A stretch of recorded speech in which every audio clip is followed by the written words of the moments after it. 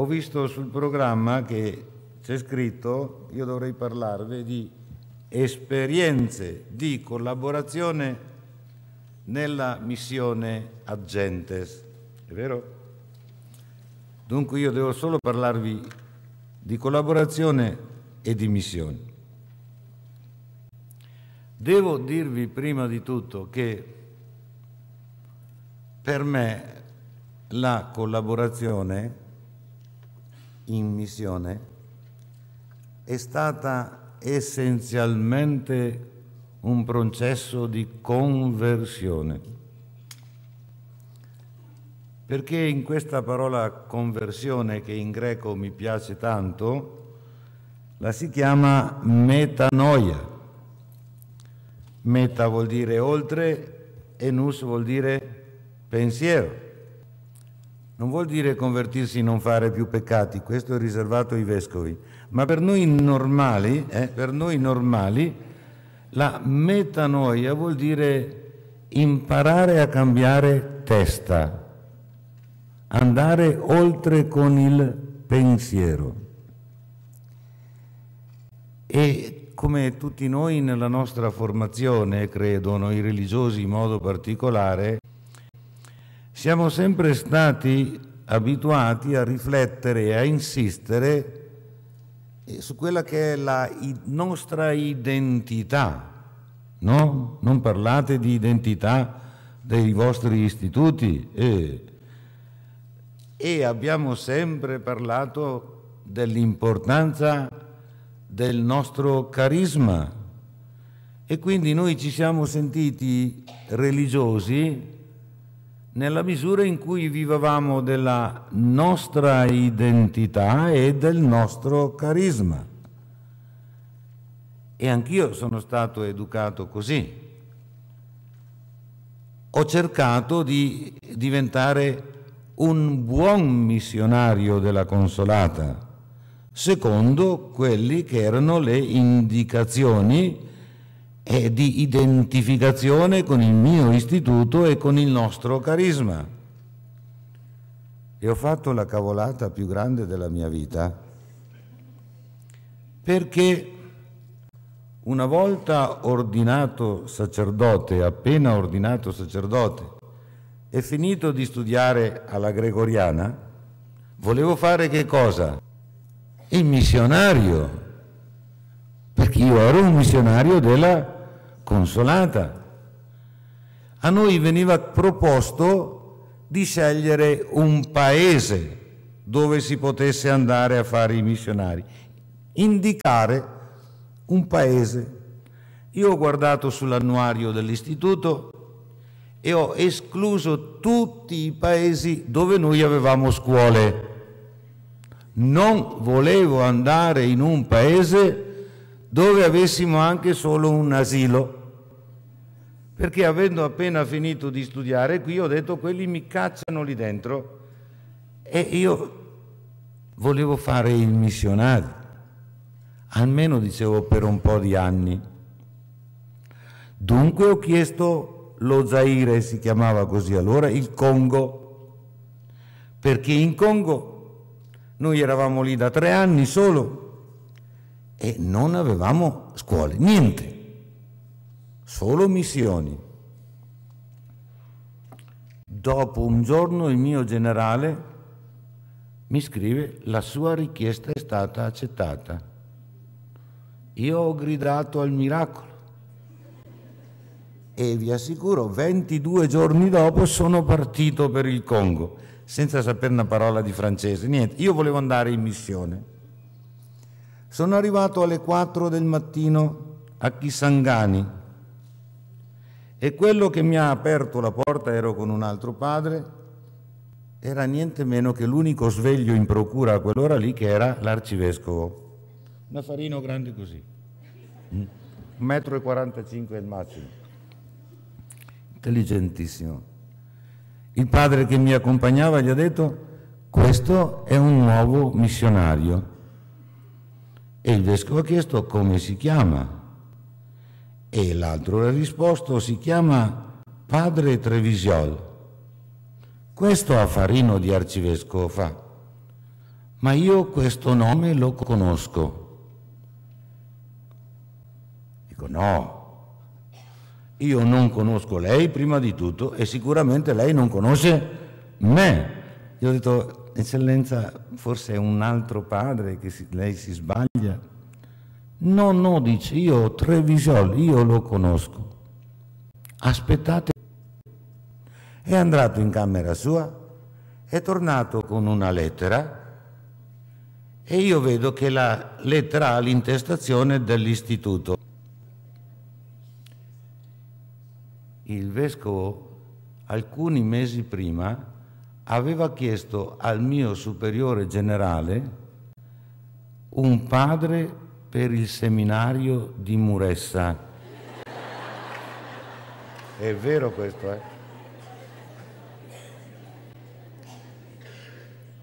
Il mio generale, senza dirmi niente, ha risposto, oh guardi eccellenza, noi abbiamo un giovane sacerdote che ha terminato i suoi studi adesso e siamo lieti, doveva accapararsi la benevolenza del vescovo, e siamo lieti di metterlo a sua disposizione. Così io avevo scelto il Congo, lo Zaire, perché non c'erano scuole, alle 4 del mattino del primo piede messo in Kisangani, ecco padre tu sai dov'è, mi sono trovato destinato al seminario teologico di Muressa. Poche volte io sono uno che non piange mai, ma quella mattina io sono scoppiato letteralmente a piangere. Non vi dico le maledizioni che ho mandato ai miei superiori, ma se c'era un aereo che tornava indietro, io sarei tornato indietro. Lo dico con tutto il cuore, io sarei tornato indietro. Io ero partito per fare il missionario, avevo cercato di essere anche un buon missionario della consolata. In quegli anni lì eravamo tutti presi un po' dalla spiritualità di Charles de Foucault, volevamo vivere au cœur de masse, eh? volevamo stare un po' lì con la gente. Io mi ero preparato un sogno missionario che si è infranto con l'aereo che è arrivato a Kisangani. Il povero arcivescovo, che vi ho detto era una persona, ha visto questa situazione qui, ha visto che, che cosa avevano combinato. Dice, ma come lei non lo sapeva? No, dico, quel disgraziato del generale a me non ha detto niente. E allora lui mi dice, beh, guardi, vada un mese o due nella comunità dei suoi confratelli, si abitui un po' e poi va dove io devo mandarla. Due mesi dopo che ero nella comunità dei confratelli, l'arcivescovo arriva con la Volkswagen, era un disastro, è venuto a prendermi non per portarmi a Muressa, ma perché aprissimo un nuovo seminario a Bugna, in alta montagna, in alta montagna. E, e così, che cosa ho dovuto imparare? Che io dovevo cambiare testa, che che ero missionario non per fare il piccolo fratello di Gesù, ma che ero missionario per fare ciò che mi veniva chiesto, perché quello che mi veniva chiesto era il bisogno di quella chiesa lì. E ho imparato a dire sì, sì, io devo dare una mano, io devo dare una mano. Non è la mia missione, ma la missione è qualcosa di più grande di me.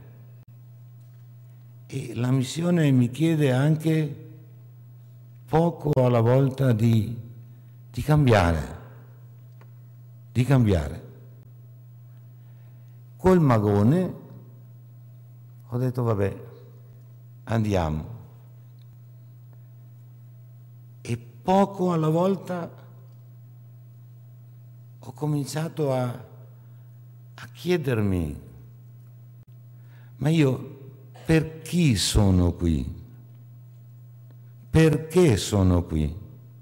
Tutte le cose che sapevo quando studiavo la gregoriana, che quei gesuiti lì mi avevano infarcito la testa, eccellenza, non erano vere. O almeno non erano reali per me. Tutta la teologia della missione che io avevo imparato, poi alla fine si misurava con le volte che io riuscivo a capire di che cosa aveva bisogno la realtà in cui mi, mi trovavo. E così mi sono trovato senza ideali, intendo metafisici.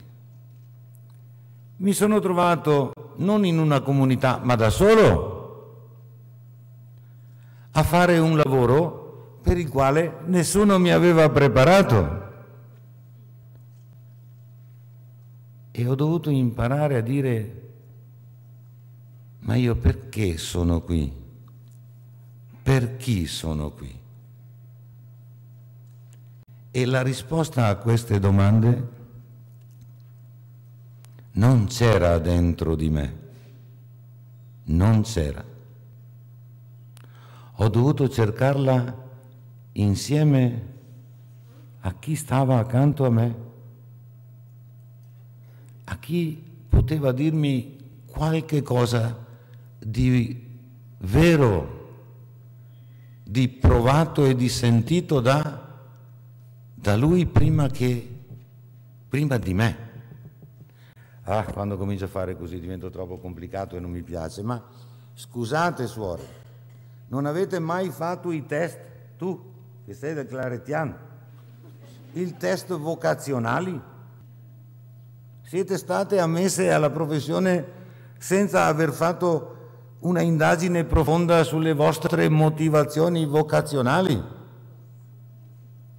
Da noi era obbligatorio, bisognava andare al centro rulla e se rulla non ti rullava, eh, eh, no, no, non venivi ammesso alle ordinazioni, non c'è niente da fare. È vero o no? Questi dicono di no, ma sanno che dicono bugie. Noi più, gio- più giovani sappiamo che era così. E, e alla fin fine decideva a rulla se io avevo motivazioni sufficienti per fare il prete o no, per essere missionario o no. E siccome io avevo capito che il gioco era quello, gli raccontavo di tutto e di più di quello che lui voleva sentire. Perché, perché erano cose non vere, non, non, scendevano dentro.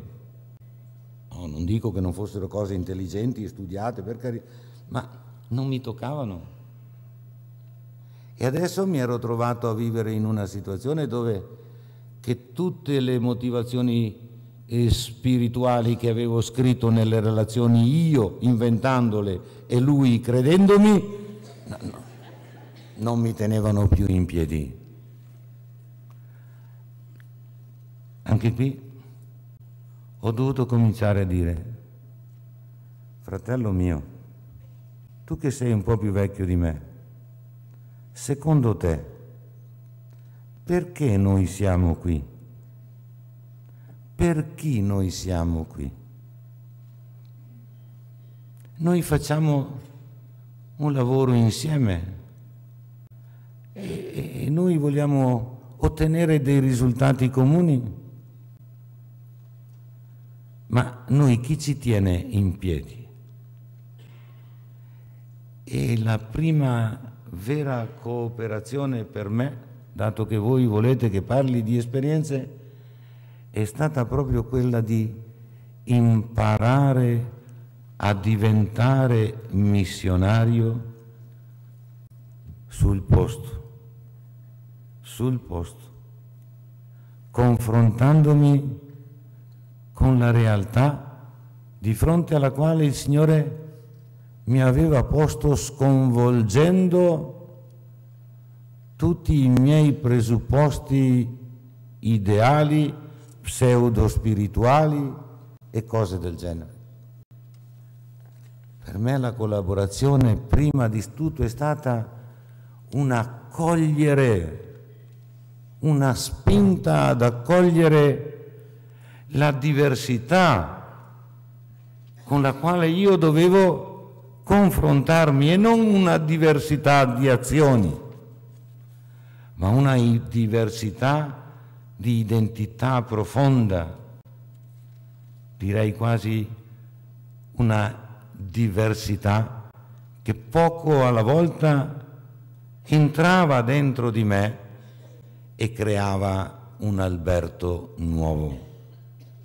Avveniva la metanoia, il cambiamento di testa. Vedete, io ho due minuti, eh, ma finisco. È stato questo presupposto questo confronto con un'alterità diversa dalla mia, che mi ha aperto poi dopo una visione di quello che era la missione per me. Per cui tutte le cose che capitavano, per quanto nuove, per quanto strane, erano normali normali. Una volta capito che io crescevo accogliendo ciò che l'altro mi donava, ciò che l'altro era, ogni volta man mano che io rispondevo con un minimo di generosità o il massimo di generosità con, di cui disponevo alle istanze che mi venivano da fuori, io crescevo, io mi trasformavo e io diventavo disponibile a dire di sì a tutto, a tutto, anche alle cose che non avrei mai immaginato reali per me o che io avrei dovuto fare. Ecco, mi sembra per me questa è stata, naturalmente qui ci sono 24 pagine, le leggerete domani, eh? ma questa è stata la, la motivazione più profonda del mio crescere nel accogliere, nello stare, nel collaborare con gli altri che la provvidenza metteva accanto a me. E perché non vi rattristiate troppo, vi dirò fino a che punto sono arrivato. Una crescita spirituale inimmaginabile per voi. Dopo un anno che ero in un posto il vescovo mi dice, Alberto fammi un favore, vai dall'altra parte. Dico, ma sto qui ce l'ha con me. no, no, non ce l'ho con te. Guarda, abbiamo... vai almeno per un periodo lì, perché in quella situazione lì... Dico, ma tu lo fai perché io sono l'ultimo arrivato? No, no, no, lo faccio perché ti stimo e ho fiducia. Comunque alla fine che cosa ho fatto? Sono andato perché adesso ero capace di dire non mi importa dove tu mi mandi, mi importa dov'è che io posso dare me stesso. Facciamo il saluto di addio. Ehi, gente, tamburi, nella sua magnificentissima bontà l'arcivescovo permise che con il suo fucile da caccia andassimo ad abbattere un bufalo per la festa. E il soldato con il, bufalo, con il fucile, no, con il bufalo, è andato e ha ammazzato la festa e abbiamo fatto una festa. Tutti erano contenti che me ne andassi. Tamburi, rumore, danze, balli e tutto quello che volete. A un certo momento in mezzo a questa festa qui crolla il silenzio come quando voi vi addormentate a scuola. Un silenzio di tomba. La folla si apre in due, in due ale, te l'ho già raccontato a te Tiziana, sì, e toc toc toc, una signora anziana, non giovane, molto anziana, con i capelli alti e coi capelli bianchi altissima, avvolta in un pagni, in quel vestito africano bellissimo, eh? Non lo metti tu? Ascoltate un po', mi si avvicina un silenzio che si poteva tagliare e mi sputa in faccia. Non lo faccio, no? Ci crediamo, ci crediamo. Sciac e sciac e sciac. Io non ero molto pallido come qui perché allora c'era il sole, ma sono sbiancato come il muro e faccio di tutto per tirarmi indietro. Il catechista che avevo vicino, Mugliesani, un santo catechista, mi spinge avanti verso sta donna e quella mi centrava ancora meglio. E voi ridete, ma è vero e provate a mettervi in una situazione così. Ascoltate un po'. E poi com'era venuta, se n'è andata. Tutta questa scena che avviene in silenzio. Io che cerco di tirarmi indietro da questa che mi sputa in faccia e l'altro che mi spinge avanti perché lo prendessi bene. E quando lei è partita, io dico, ma Moiesani, cosa è successo? Cosa le ho fatto?